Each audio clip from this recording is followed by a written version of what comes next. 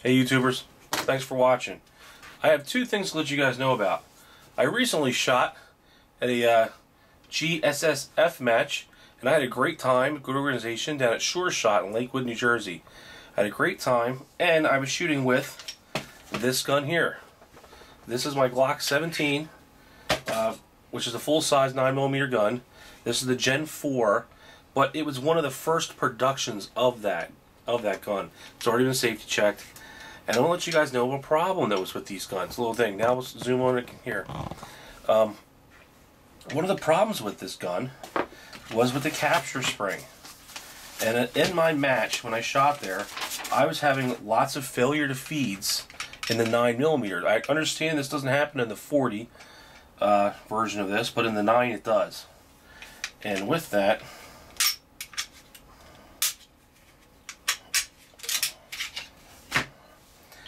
this this spring is supposed to have an identifier right on the end of it there that would tell you that this is a one. It would be either uh, I think it's one or two.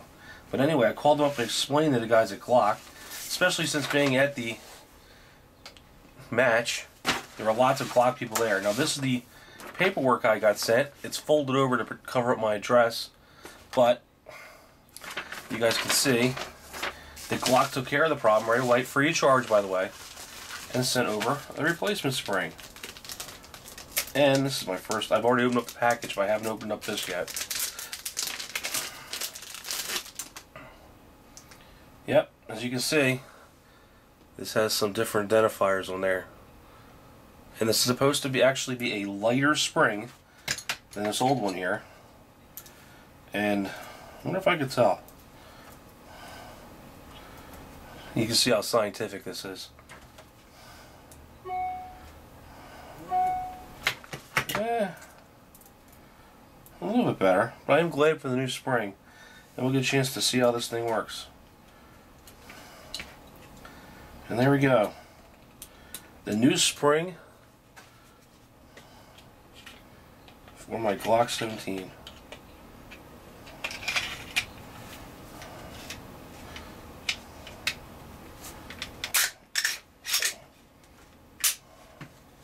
That's it. Now, there's two other things I want to let you guys know. Uh, a friend of mine, Staten Island Prepper, is opening up his channel. Right now, I think he's got five or six, I think five videos I just looked. And I wanted to let you guys go check out his channel. And uh, I also want to let another thing, too, that uh, Wrangler Star, uh, he hurt my feelings a little bit. Um, I always watch his videos. He's doing a homesteading project. And uh, he basically was saying how all the all the YouTubers out there with the look what I got new and unboxing stuff, and that's what some of my videos are.